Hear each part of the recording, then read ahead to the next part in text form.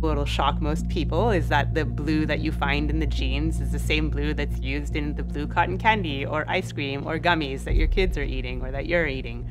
So instead of having a chemical version of that, we're going to have a natural version of that.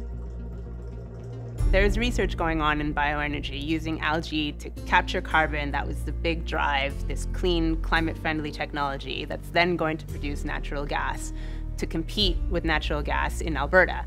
While working on this optimization process, that's when I realized I have something even bigger uh, product that we can get out of this process, which is this natural blue color, that is phycocyanin.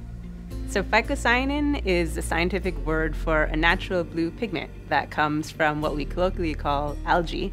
During our process, like what will happen is these pigments will come out and they will stay in the liquid form. And after that, like what we do is we separate the biomass and we separate this liquid that is blue in color.